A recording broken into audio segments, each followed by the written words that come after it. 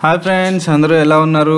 Friends ఈ వీడియోలో మనం తెలుసుకోబోయేది ఏంటంటే తెలంగాణకు సంబంధించి రైతు బంధు కానీ రైతు రుణమాఫీ కానీ లేదా రైతులకు సంబంధించిన ఏ వివరమైనా సరే ఒక వెబ్సైట్లో అనేది అయితే పొందుపరచడానికి ప్రభుత్వం అయితే రంగం సిద్ధం చేస్తుంది.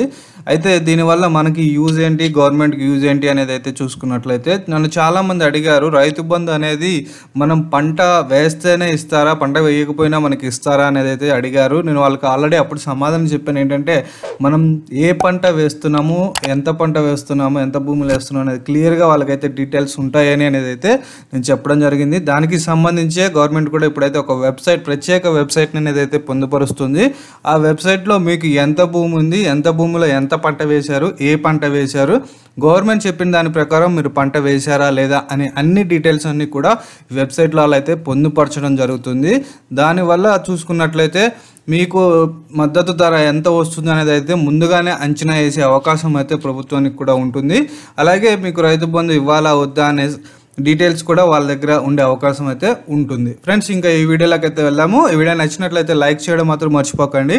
వానాకాలం నుంచి నియంత్రిత సాగు విధానం అమలులో భాగంగా అయితే రైతులు విస్తీర్ణం పంటల వారీగా వివరాలు అనేది నమోదు చేయాలని రాష్ట్ర ప్రభుత్వం అయితే నిర్ణయించుకుంది. ప్రతి గుంట భూమిలోనూ వేసిన పంట వివరాలను కూడా నమోదు చేసేందుకు వ్యవసాయ శాఖ ప్రత్యేకంగా రూపొందించిన పోర్టల్లో వ్యవసాయ విస్తీర్ణ అధికారులు అయితే ఈ వివరాలన్నింటినీ కూడా నమోదు చేయాల్సిన అవసరం అయితే ఉంటుందని చెప్తున్నారు. దీనికోసం ప్రభుత్వం వ్యవసాయ శాఖ అదనపు డైరెక్టర్ కె. విజయ్ కుమార్ని అయితే ఆఫీసర్గా నియమించిందని అయితే చెప్తున్నారు.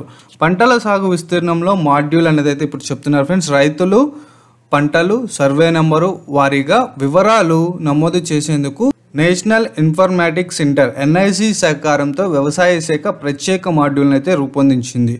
రైతులు పంటల వివరాలు నమోదు చేయడం ద్వారా వ్యవసాయ ఉత్పత్తుల దిగుబడిపై ముందస్తుగానే అంచనా వేయడం సాధ్యమవుతుందని వ్యవసాయ శాఖ అయితే భావిస్తుంది. ఆయా పంట ఉత్పత్తులకు కనీస మద్దతు ధరతో పాటు కొనుగోలు చేసిన ధాన్యాన్ని కూడా నిల్వ చేయడానికి సరైన ప్రణాళికలను రూపొందించుకోవడానికి కూడా సులభతరం అవుతుందనేది అయితే వాళ్ళు అధికారులు అయితే చెప్పడం జరిగింది. ఓకే ఫ్రెండ్స్ ఇలా అయితే ముందస్తుగానే మీకు ఎంత మద్దతు ధర అమౌంట్ వస్తుంది పంటకి దిగుబడి వస్తుంది. ఇలాంటి అన్ని క్యాలిక్యులేషన్స్ కూడా వాళ్ళు వేయడానికి అవకాశం ఉంటుంది. అలాగే ప్రజెంట్ అయితే రైతు వేదికలు కూడా మనకి సిద్ధమవుతున్నాయి కాబట్టి రైతు వేదికల ద్వారా కూడా ఈ అన్ని కార్యక్రమాలు కూడా జరిగే అవకాశం అయితే ఉంటుంది. అలాగే మీకు రైతు బంధు వస్తుందా రాదా అనేది కూడా గవర్నమెంట్ చెప్పిన పంట వేస్తేనే మీకు రైతు బంధు అనేది అయితే వస్తుందని ఆల్రెడీ మనం అంతకుముందు చెప్పుకున్నాము. ఇప్పుడు కూడా ఈ వీడియోలో చూసుకున్నట్లయితే మనకి మీరు ఒక గుంట పొలం ఉన్నా సరే ఆ గుంట పొలంలో కూడా మీరు ఏం పంట వేశారు అనేది కూడా వాళ్ళకి క్లియర్గా అయితే తెలిసిపోతుంది. ఓకే ఫ్రెండ్స్ ఈ వీడియో నచ్చినట్లయితే లైక్ చేయండి. మీకు రైతు బంధు రైతు రుణమాఫీకి సంబంధించిన అమౌంట్స్ ఎవరికైనా పడుంటే కనుక కింద కామెంట్ బాక్స్లో కామెంట్ చేయండి ఫ్రెండ్స్. ఎందుకంటే వేరే వాళ్ళకి యూజ్ అవుతాయి. Thank you friends thank you for watching.